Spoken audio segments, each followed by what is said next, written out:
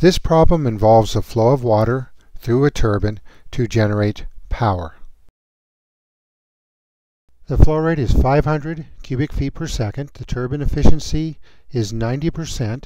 The head loss is given by this equation where V is the velocity in the penstock. The elevation head of the turbine is 30 feet above the turbine. The penstock diameter is 7 feet and the turbine is located at 5 feet above the tailwater. We assume that the kinetic energy correction factors are 1.0 and we assume steady state flow. The goal is the power produced by the turbine. This problem is relevant because engineers design hydroelectric systems. Water behind a dam flows through a pipe called a penstock. This spins a turbine this rotating turbine turns a generator and makes electricity. Let's start with the power equation because this has the goal in it. The goal is power and we note that specific weight, flow rate, and efficiency are known so our new goal becomes head of the turbine. One note on this equation, if you bracket these three terms, these are the familiar three terms in the power equation, and I went ahead and multiplied by efficiency to account for the fact that the turbine is less than a perfect machine. This becomes our new goal, and since this, this variable appears in the energy equation, next let's apply the energy equation from 1 to 2.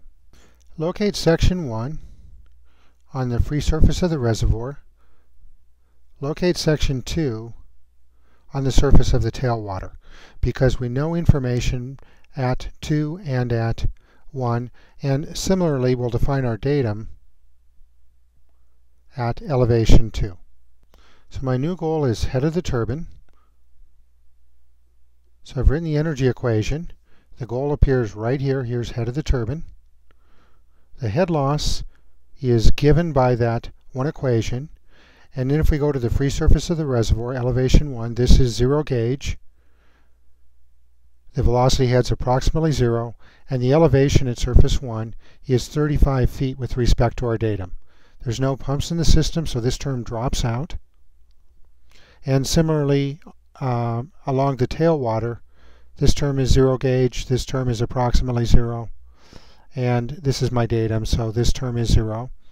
So the reduced form of the energy equation is right here, and there's the goal head of the turbine, and I have a new goal which is the mean velocity in the penstock. Since this is a, uh, the new goal, I'll now write the flow rate equation.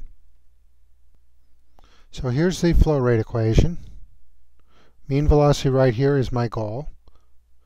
Discharge or flow rate is known and diameter of the penstock is known. So I can solve this equation for V. Excellent. I've found the solution path. I have three equations and three unknowns. My three unknowns are the head of the turbine, the power produced by the turbine, and the mean velocity in the penstock. My plan of attack, first step is I'll apply this equation to solve for mean velocity. Then I'll use this equation to solve for the head of the turbine. And then I'll put the head of the turbine into the power equation and solve for the problem goal. Velocity is calculated with this equation. The velocity is about 13 feet per second. Head of the turbine is calculated with this equation. Head of the turbine is 31.1 feet. Power is calculated with this equation.